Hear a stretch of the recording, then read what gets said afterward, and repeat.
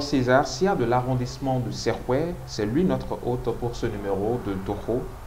Avec lui, nous évoquons sa gestion à la tête de son arrondissement et les impacts des réformes sur Serkoué. Monsieur SIA, bonjour. Bonjour mon frère. Euh, Présentez-vous rapidement nos amis. On m'appelle euh, César Mouanou Zoumavo. Je suis... euh, avant, j'étais technicien de laboratoire. Je suis euh, admis à la retraite. Donc, euh, je suis élu CA de Serkoué depuis 2015. Depuis 2015. Oui. Donc, euh, je suis ici. Je- J'essaie de faire, euh, de gérer la cité avec mes concitoyens. Donc, je suis là. Je- je- avec l'aide de Dieu, nous sommes en train de conduire les affaires de la cité. Merci Sia. Mm. Dites-nous, quels sont, euh, com- comment se porte Serkoué Comment se porte C'est quoi aujourd'hui, grâce à cela, grâce euh, à l'aide de la population, de mes anciens doyens et avec euh, mes chefs quartiers, nous essayons de- d'œuvrer pour le développement de ces. Et aujourd'hui, depuis mon arrivée, euh, vous, les gens vous diront que Serkoué a connu euh, un autre développement. Parce que j'ai compris à mon arrivée que je suis venu faire une expérience. Et de cette expérience, beaucoup doivent en parler. C'est ce que nous vivons actuellement. Je ne peux pas euh, on ne se qualifie pas soi-même, c'est les autres qui diront Ah, ce, qu'il fait jusque-là, ce n'est pas mal. Si c'est nous-mêmes qui nous qualifions, alors euh, ça ne va pas. Ce sont les autres qui peuvent nous qualifier. Et je sais que euh, ce que je fais jusque-là, je ne dors pas sur mes lauriers. Je- J'essaie d'œuvrer pour que la population soit quand même un peu plus à l'aise, pour que euh, nous puissions quand même, euh, à la fin de mon mandat, dire nous sommes satisfaits. C'est ce à quoi je me je m'attelle tous les jours pour quand même euh, faire en sorte que ces quoi connaissent euh, un bon épanouissement. C'est surtout ça. Merci Sia. Monsieur Sia, euh, Serkoué, depuis quelques années, fait face, donc, notamment après la construction de la route inter-État, euh, fait face à, à une question de dégradation de ces routes.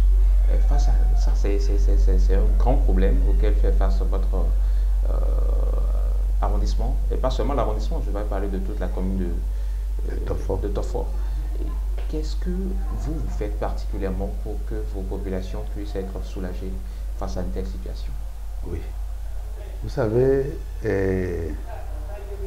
pour euh, le développement de l'arrondissement, mais de Tofo en général, que nous, sommes en train de nous battre pour euh, d'abord euh, qu'on ait un minimum de, recettes pour pouvoir revoir nos rues. Actuellement, euh, Tofo est en train de re- reprofiler les rues, certaines rues, que euh, la pluie a complètement, des eaux de ruissellement complètement dégradées. Et ils seront chez nous. Déjà, ils sont dans mon arrondissement déjà. Il y a l'équipe qui a gagné et le, le projet de, de reprofilement des, des choses, là, reprofilage des, rues est déjà à Zungame, un des villages de mon, arrondissement. Ils seront ici et cours soit de cette semaine ou bien de la semaine prochaine pour euh, euh, retravailler certaines voies qui sont complètement dégradées.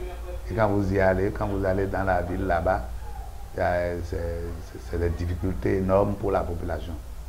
nous essayons quand même de nous battre. Parce que c'est surtout euh, sur le plan, comment dit-on, de recettes euh, que nous nous battons pour qu'il y ait un peu d'argent, pour que la mairie puisse en disposer pour ce travail-là. Justement, en termes de, recettes, est-ce que la cagnotte sous votre mandat est ah oui, bien grosse? Ah oui, c'est quoi n'avait jamais apporté quelque chose à, la commune de Tofo. Et à mon arrivée, j'ai dit, moi je vais me battre. Et qu'est-ce que j'ai fait d'abord? J'ai essayé de rencontrer les femmes, surtout les femmes vendeuses. J'ai rencontré certains sages dans la population. Je leur ai parlé. J'ai souvent dit, enfant, et nous donc il faut quand même intéresser un peu euh, le, propriétaire d'une mare avant de pêcher dans, cette mare-là. Alors, c'est Tofo qui constitue cette mare. Et il faudrait quand même que nous nous battions pour euh, renflouer un peu les caisses de, de la mairie. Étant dit que les arrondissements n'ont pas une autonomie financière.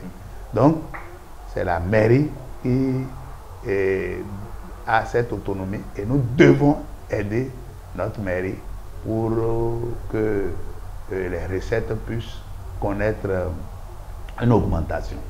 Ce que nous sommes euh, battus pour que euh, cette euh, euh, chose-là, cette caisse soit vraiment renflouée. Donc, au début, dès qu'on a commencé, ce sont les femmes même qui m'ont dit, bon, on peut donner 25 francs par jour. J'ai dit non. Le travail de, si c'est chaque jour qu'on doit prendre de l'argent chez elle, que ce n'est pas bon, nous aurions souhaité que les jours de marché, elle paye 100 francs. Au lieu de 125, euh, elle paye 100 francs. Et nous sommes entendus sur ce taux-là. Mais dès que j'ai démarré, il y, a, bon, il y a eu certains anciens qui ont dit, nous n'avons pas fait, c'est lui qui va faire. Non, on va lui créer des problèmes. Les gens ont commencé, et dès que nous avons lancé le top, il s'est fait que des femmes se sont mises à, à, faire des meutes. Et j'ai dit, moi je ne vais pas réagir. Surtout que moi je suis chrétien. Donc j'ai dit, je ne vais pas euh, répondre du tic au tac. Je vais encore réfléchir. J'ai réfléchi, j'ai appelé les gens. Je leur ai dit, vous savez que les cotisations que vous faites là, les, les taxes sur le marché que vous donnez là, si vous n'en donnez pas, la mairie ne pourra pas vous construire des hangars, la mairie ne pourra pas construire des écoles, la mairie ne pourra pas construire autre chose. Et j'ai expliqué ce que l'argent l'a fait. Ah, certains ont dit, et la première année, en 2016, les, on n'a pas eu grand-chose. On a eu 43 700. Et j'ai profité d'une reddition de compte du maire. J'ai dit, c'est ici qu'elle doit faire ça. Et quand elle a fait ça ici, j'ai dit, à la population, c'est une honte que euh, qui est tout près, nous faisons près de deux fois ou trois fois Pomé. Et que Pomé trouve près de 800 000, que nous nous soyons à 43 700. Et des jeunes, des jeunes sont allés me voir pour me dire, nous allons vous, nous allons vous aider. C'est bon, si vous voulez, mais moi je ne démarre pas, je dois continuer. Et c'est avec ça que nous avons commencé le travail. Alors, en 2017, on a fait 1 million 200 000 pour le compte de... Juste après Juste après. Les interventions, avec les explications, tout ça là, on a eu ça. Et passé de 40, 43 700, à, 1 million 200 000. Donc ça veut dire qu'il y avait euh, une question de, de malcompréhension, de la population. Parce qu'on n'en a jamais fait hmm. et on dit il faut rester comme ça, il faut que ça continue comme ça. Elle dit non, non, vous devez participer aux affaires de la mairie, de la commune. Parce que si vous ne faites rien, ouais, beau les gens donnent à Pomé, les gens donnent ailleurs aussi assez. Mais pourquoi pas Sehoué, qui est d'ailleurs le plus grand arrondissement de, de. Donc j'ai dit, on continue. En 2018, on a eu 1 million 380 000 comme ça. Et donc ça continue. Sauf que cette année, il y a eu, eh, comment dit-on, les ristournes que ceux qui m'aidaient doivent avoir. Et comme la mairie n'a pas donné, ils ont dit ne travaille plus. Ils ne peuvent pas continuer comme ça. Malgré tout ce que mes plaidoyers, tout ça là, c'est maintenant que nous avons relancé. si la mairie, les, gens qui, les gens travaillent et ils ne sont pas payés en retour, c'est pas bien. Pas bien. Donc, euh, ça, c'est ça qui fait maintenant que au moins, avec mon arrivée, il y a eu assez de réalisation à ces La maison des jeunes qui est là. J'allais vous demander quelles sont les, retombées de cette action vraiment très salvatrice je pour euh, je vous dis, l'arrondissement de, de Dès que dès mon arrivée, qu'on a lancé ces choses, la mairie est venue nous construire 10 hangars de marché. La mairie nous a construit comment on appelle, euh, cette maison des jeunes qui est là, la mairie a construit des écoles. Il y avait un éléphant blanc que la mairie a repris et a essayé de, reprendre carrément. Et nous sommes là. la mairie nous a construit une école à, Fanji, et une école de trois classes, un module de trois classes, et un module de trois classes encore que la mairie a eu à construire à Zungame. Donc au moins aujourd'hui, des routes ont été reprofilées qui sont en train d'être dégradées maintenant. Sinon, au moins, la mairie est intervenue pour beaucoup de choses, dans notre arrondissement. Finalement, la cagnotte, elle est... La cagnotte... Euh, elle, est, elle, est, grosse, hein? Elle est grosse, mhm. oui. On a, on a essayé, on a essayé. On continuera de nous battre pour que euh, nous n'ayons pas euh, de défaillance. Mhm. Parce que au moins, à la fin, j'ai récemment fait une reddition de compte sur ce que je viens de vous dire. Mhm. Et et nous avons été félicités. Donc, euh, euh, nous sommes là. Ce n'est pas la félicitation. ce que nous voulons, c'est que à, la fin de notre mandat, que nous puissions euh, présenter, un bilan, présenter un bilan positif, et satisfaisant. Et déjà, on peut déjà se réjouir de... oui, mais, tant qu'il reste à faire, c'est que rien n'est encore Rien n'est encore. Merci mon cher. Merci mon cher. Parce que cette maison des jeunes qui a été construite, ce que mon souhait, c'est qu'elle soit, soit euh, équipée, et qu'on puisse commencer les animations là. Vous voyez, tout le temps, j'essaie de, payer pour que les gens sacrent les alentours. On a vu, on a vu. Oui, chaque fois, les, les herbes dans, dans, la brousse. Hein? Oui, j'essaie de trouver un peu de fonds de ma poche pour faire ça. C'est difficile pour moi. Mais bon, s'il y avait un fonds euh, de fonctionnement pour les arrondissements, ce serait bon. On allait au moins voir dedans. Cette maison que j'ai héritée pour l'arrondissement, c'est une maison où je suis arrivé, les toilettes, j'ai repris avec mon propre argent. Les installations étaient complètement fichues. J'ai repris et quand j'en ai parlé là-bas, on dit Ah non, tu devais nous avertir. Je dis Je ne vous demande pas de l'argent, je l'ai fait pour mon coin. Je l'ai fait parce que je ne peux pas vivre dans, ne pas vivre quelque part où euh, il n'y a pas le bien-être. Je ne peux pas. Donc, euh, j'ai fait ce que je peux faire. Mhm. Je continuerai si j'ai les moyens. Surtout ça. Monsieur le CIA, vous êtes du secteur de la santé. Oui. Et, pourtant, les gens manquent d'eau. Nous avons constaté ce matin, par exemple, que la, qualité de l'eau des, populations environnantes qui sont juste autour de, de, l'arrondissement, vraiment, l'eau est d'une qualité très douteuse. Oui. Qu'est-ce que vous faites? Quels vous sont savez, projets par rapport à ça? Ça là, il y a un projet de l'État béninois. Ça fait partie de, de, de du gouvernement, euh, du programme d'action du gouvernement.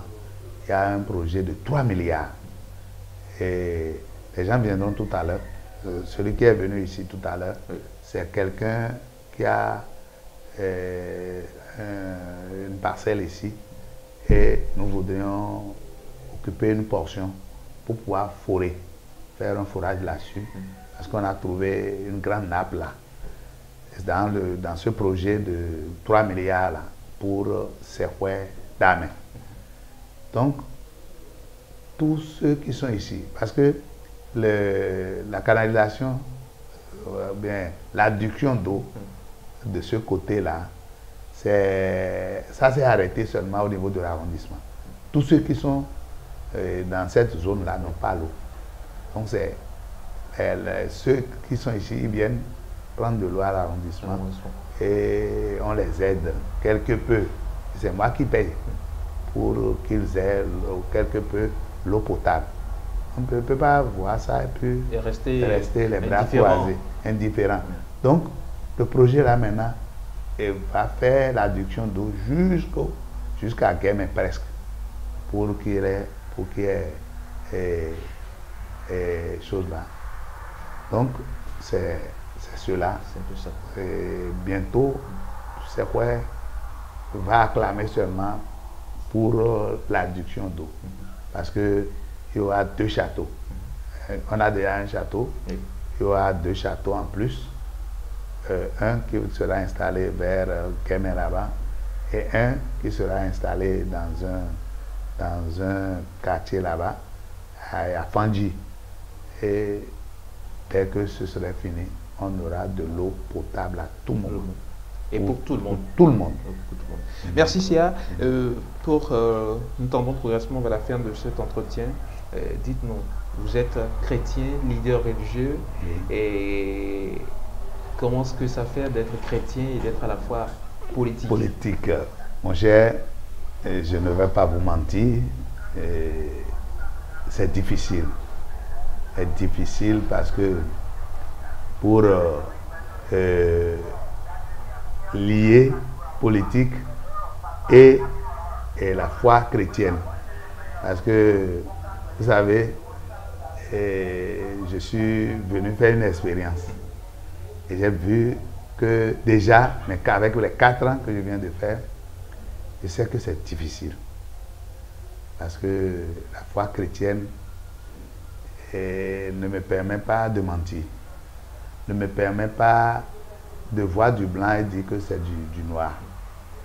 Et moi, dans cette euh, foi-là, j'essaie de, de faire avec, euh, je, sais, bon, quand je dis je fais avec, non, c'est que si c'est la justice, je rends la justice.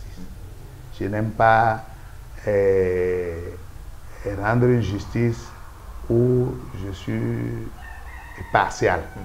J'aime être impartial. Et si vous demandez à la population, ils vous le diront. Euh, au moins pour ce qui concerne la justice et je la rends comme euh, il le faut. Mais des gens qui, sont, qui vous entourent vous ne comprennent pas toujours. Ne comprennent pas. et on vous crée, on vous traite de tout. On vous traite de tous les noms. On vous crée de problèmes. Et on le sait sciemment, on sait que c'est ça là qui est juste, mais on vous crée de problèmes. Juste pour, que vous n'atteigniez pas vos objectifs. Oui. Parce que vous êtes sur la droite ligne, moi, beaucoup n'aiment pas ça. Beaucoup n'aiment pas ça, mais ce sera ça. Et c'est ça qui fait que quand on est chrétien et vous rentrez dans un milieu, c'est pour apporter la lumière. Tout à fait. C'est surtout ça. Donc, je dis aux chrétiens qui sont dans la politique de ne pas défaillir, de ne pas trahir leur foi. C'est surtout ça. Moi, je me rappelle que le jour qu'on doit m'installer ici, c'est avec une messe d'action de grâce que on m'a installé. Et le prêtre qui a célébré eh, cette messe-là me disait, chrétien, vous êtes, vous y entrez, vous entrez dans la politique sainte.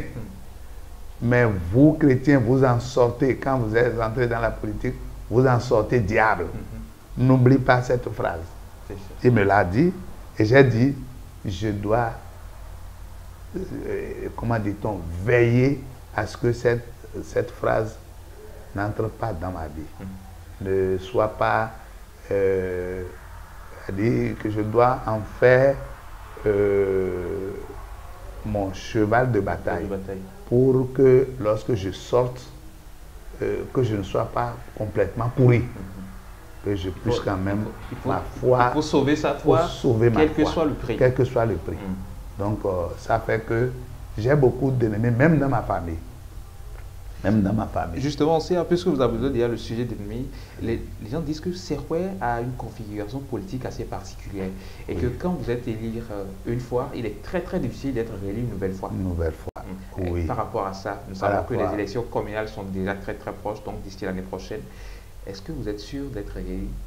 Bon, si, si éventuellement... si éventuellement je m'engage, je sais que je vais réussir. Ça là, c'est, je le, je le sens. Je sais que si je m'engage, je vais réussir.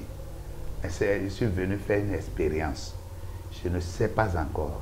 Le moment opportun, euh, comme l'a dit notre président de la République, je vais raviser. Mais je ne travaille pas pour qu'on me... Euh, euh, comment dit-on Pour que les gens puissent me réélire. Non. Je travaille pour que la population soit satisfaite de mon mandat je travaille pour Dieu. Je ne travaille pas pour les hommes.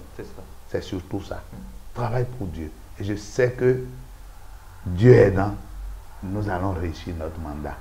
Ce n'est pas euh, parce que je veux être réélu que il faudrait que je fasse tout pour faire des beaux yeux euh, à certains qui, qui, sont dans euh, de, mauvais draps mm. pour dire que je les supporte. Non